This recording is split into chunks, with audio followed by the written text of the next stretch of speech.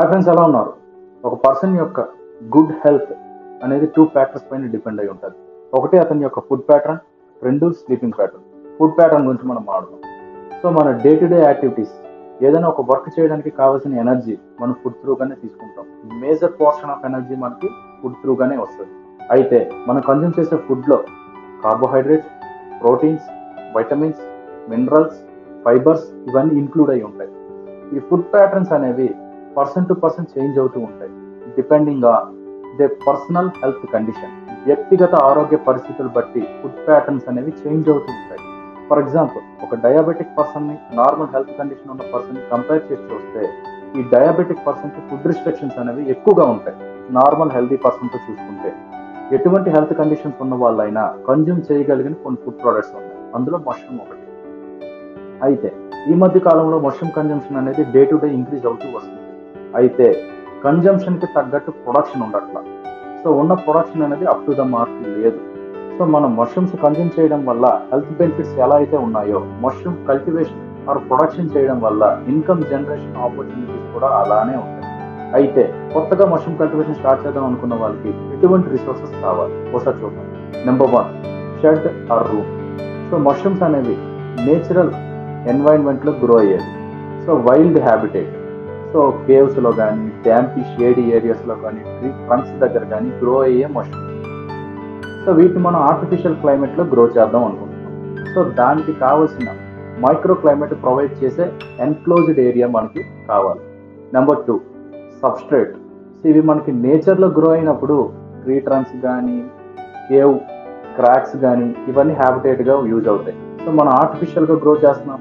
So దీనికి మనం ఒక హోస్ట్ ఇవ్వాలి. ఆ హోస్ట్ సబ్స్ట్రేట్ మోస్ట్ కామన్గా యూజ్ చేసే సబ్స్ట్రేట్స్ ఏంటంటే agriculture waste paddy straw straw wheat straw dry banana leaves cocopeat etcetera ఇలా ఏదైనా వ్యవసాయ వ్యర్థాన్ని మనం సబ్స్ట్రేట్ కింద కన్వర్ట్ చేసి మష్రూమ్ కల్టివేషన్ స్టార్ట్ చేయొచ్చు. Number three seed material or spawn so ఏదైనా ఒక పంట మనం గ్రో చేద్దాం అనుకుంటే దానికి విత్తనం చాలా ఇంపార్టెంట్ అలాగే మష్రూమ్ కల్టివేషన్కి కూడా. ఆ సీడ్ నే మనం టెక్నికల్గా స్పాన్ అంటాం. అయితే ఎటువంటి స్పాన్ మనం చూస్ చేసుకోవాలి? ఒకటి ప్రీమియం క్వాలిటీ రెండు ఫ్రెష్లీ ఎనాకులేటెడ్ మూడు ఫస్ట్ జనరేషన్ ఈ త్రీ క్రైటీరియా ఉన్న స్పాన్ మనం మష్రూమ్ కల్టివేషన్లో యూజ్ చేయాల్సి ఉంటుంది. Number four casing material so casing అంటే సో ఇంక్యుబేషన్ పీరియడ్ కంప్లీట్ అయ్యి ఫ్రూటింగ్ స్టేజ్కి వచ్చిన బెడ్ని మనం కట్ చేసి కేసింగ్ సాయిల్ అప్లై చేస్తాం. మిల్కీ మష్రూమ్కి వచ్చినప్పుడు. సో ఆ casing సాయిల్గా soil cocopeat or sand plus calcium carbonate మనం యూజ్ చేస్తాం. అది మిల్కీ మష్రూమ్కి వచ్చినప్పటికి. అదే బటన్ మష్రూమ్కి వచ్చినప్పటికీ compost bone meal calcium carbonate gypsum ఇంకా కొన్ని కాంపోనెంట్స్ యాడ్ చేసి కేసింగ్ సాయిల్గా మనం యూజ్ చేస్తాం. బటన్కి మిల్కీకి తప్పితే కేసింగ్ సాయిల్ మనకి ఇంకెక్కడ ఎక్కువగా యూజ్ అవ్వదు. తర్వాత శానిటేషన్ మెటీరియల్. సో ఈ ఆర్టిఫిషియల్ ఎన్వైరన్మెంట్లో గ్రో చేసే ఈ మష్రూమ్ కల్టివేషన్కి హైజెనిక్ కండిషన్స్ అనేది చాలా ఇంపార్టెంట్. యూనిట్లో కావచ్చు సరౌండింగ్స్లో కావచ్చు. సో ఈ యూనిట్లో కానీ సరౌండింగ్స్లో కానీ హైజెనిక్ కండిషన్స్ మనం మెయింటైన్ చేయడానికి కొన్ని బేసిక్ రిక్వైర్మెంట్స్ మనకు కావాలి. Dettol hand wash sanitizer sodium hypochloride bleaching powder ఇలాంటివి మనం యూజ్ చేసి inside and outside cultivation మనం హైజెనిక్ కండిషన్స్ని మెయింటైన్ చేస్తాం. Sixth one climate monitoring tools so మనం ఈ ఆర్టిఫిషియల్ క్లైమేట్ని మెయింటైన్ చేస్తున్నాం కాబట్టి అది ప్రాపర్గా మెయింటైన్ అవుతుందా లేదా? ఏదైనా డెఫిసిట్ అయిందా? ఏదైనా ఏదైనా ఎక్కువైందా? సో వీటిని మానిటర్ చేయడానికి మనకి కొన్ని టూల్స్ అవసరం అవుతాయి. అందులో hygrothermometer humidifier heater fan battery sprayer వీటిని యూజ్ చేసి మనం మైక్రో క్లైమేట్ని మానిటర్ చేయొచ్చు క్లైమేట్ని మనం మెయింటైన్ చేయొచ్చు.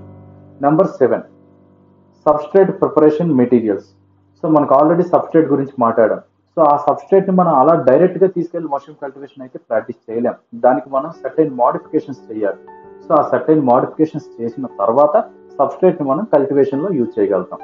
సో ఆ మోడిఫికేషన్కి కావాల్సిన కొన్ని materials chop cutter soaking tanks boiling vessels steamers dryers. వీటిని యూజ్ చేసుకొని మనం ఒక ప్రాపర్ సబ్స్ట్రేట్ని మనం ప్రిపేర్ చేస్తాం. తర్వాత number eight bed preparation materials. So ఈ సబ్స్ట్రేట్ని సీడ్ని కలిపిన దాన్ని మనం ఒక బెడ్ అంటాం. సో ఆ బెడ్ ప్రిపేర్ చేయడానికి మనకు కావాల్సిన మెటీరియల్స్ ఏంటి? Polypropylene covers rubber bands needles పాంట్రే hand sanitizer ఇవి మనకు బేసికల్గా బెడ్ ప్రిపేర్ చేయడానికి కావాల్సిన materials number nine other materials ఇవి కాకుండా ఇప్పుడు మనం పైన డిస్కస్ చేసినవి కాకుండా ఇంకా కొన్ని అదర్ రిక్వైర్మెంట్స్ ఉంటాయి. మష్రూమ్ కల్టివేషన్ మనం చేయాలి అంటే. అందులో racks lighting source ventilation irrigation facilities number ten branding and promotion మన దగ్గర ఇప్పుడు ఆల్రెడీ ఒక ప్రోడక్ట్ ఉంది. ఆ ప్రోడక్ట్ని మనం ఎండ్ కస్టమర్కి రీచ్ అయ్యేలా ఎలా ప్రమోట్ చేస్తాము? సో మన బ్రాండ్ యొక్క క్వాలిటీస్ని ఎలా డిస్క్రైబ్ చేస్తాము? సో బయట ఆల్రెడీ ఎగ్జిస్టింగ్ మార్కెట్లో ఎగ్జిస్ట్ అయిన ప్రోడక్ట్స్తో మన ప్రోడక్ట్ని కంపేర్ చేసి మన ప్రోడక్ట్ని బై చేసేలా ప్రమోట్ చేయడాన్ని మనం బ్రాండింగ్ అండ్ ప్రమోషన్ అంటాం. Number eleven marketing and sales product harvest చేసాము దాని అలానే ఎండ్ కస్టమర్కి ఇవ్వకూడదు. సో దానికి మనం సెట్ అయిన వాల్యూ యాడిషన్ అనేది మనం చేయాల్సి ఉంటుంది. అదే గ్రేడింగ్ ప్యాకింగ్ తర్వాత సేల్స్ సో ఈ గ్రేడింగ్ చేసిన దాన్ని ప్యాక్ చేయడానికి ప్రాపర్ ప్యాకేజింగ్ మెటీరియల్ మనకు కావాలి ప్యాకేజింగ్ సీలింగ్ మిషన్ కావాలి కంపెనీ ఫుడ్ లైసెన్స్ ట్యాగ్ అదొకటి ప్రొవైడ్ చేస్తే ఆ ట్యాగ్ అటాచ్ చేసి డైరెక్ట్గా మనం ఎండ్ కన్జ్యూమర్కి ప్రోడక్ట్ని హ్యాండ్ ఓవర్ చేయొచ్చు. సో ఈ బేసిక్ రిక్వైర్మెంట్స్ని మన దగ్గర కనుక మనం ఈ రిసోర్సెస్ని ప్రొక్యూర్ చేసుకోగలిగితే మోషన్ కల్టివేషన్ అనేది ఇమీడియట్గా స్టార్ట్ చేయొచ్చు. Thank you